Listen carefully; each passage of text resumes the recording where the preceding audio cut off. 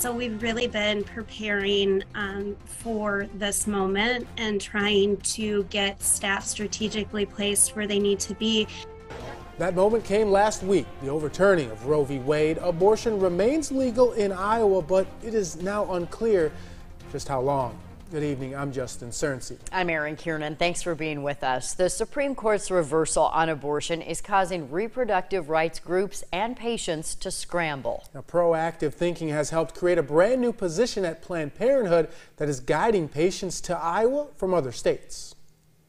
We have um, now patient navigators in place, and their job is to really connect um, connect patients looking for abor- abortion care um, with that care, whether it whatever state it might be where they can get that care um, and also connecting them to the resources that they need to get there and have um, a safe and legal abortion.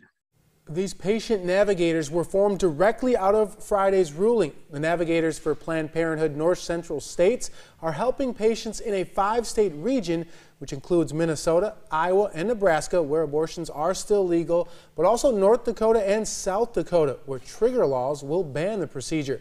Planned Parenthood Advocates of Iowa Communications Manager Sheena Dooley says it is too early for specific data, but they are seeing strong numbers of increasing calls throughout the region with people looking to make appointments for a safe and legal abortion. The five state region is also actively bracing and prepping for what could happen if Governor Kim Reynolds is successful in reinstating the fetal heartbeat bill, which would ban most abortions in Iowa after six weeks that Iowans deserve the right to control their bodies and their futures. Um, and Governor Reynolds is really wanting to take us back decades in time by forcing pregnancy on Iowans, which is really a grave violation of their human rights. And for anyone looking to speak with a patient navigator, just call your local Planned Parenthood.